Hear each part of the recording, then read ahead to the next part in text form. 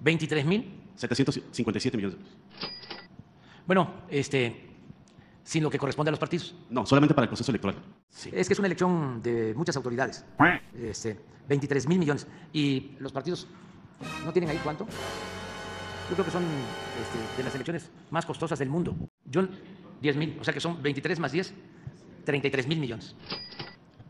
Este, hagan la investigación. De hecho, Eh, hagan la tarea y mañana nos dicen cómo eh, estamos comparativo con otros países para que informemos a la gente. O sea, cuánto se gasta en Estados Unidos, cuánto se gasta en Francia, cuánto se gasta en Japón, cuánto se gasta en Brasil, en Costa Rica. ¿Tú puedes traer mañana la información? ¿Tú? Digo, estamos hablando de diálogo circular, o sea, todos tenemos que ayudar. Mañana no me toca tomar la palabra por el sorteo. No, pero nada más vas a decir este, lo que cuestan las elecciones. Pero yo lo que quiero es opinar acerca No, de ya, lo que ya, ya, cuesta. ya, aquí. ahorita te voy a contestar, pero digo, ¿aceptamos eso? Bueno, ya quedó. No. Este, miren, eh, nosotros en el Ejecutivo, ese presupuesto, lo que hacemos es que lo integramos al presupuesto general, sin tocarlo. Sí. Es como el presupuesto que envía a Hacienda el Poder Judicial. Ellos mandan su presupuesto.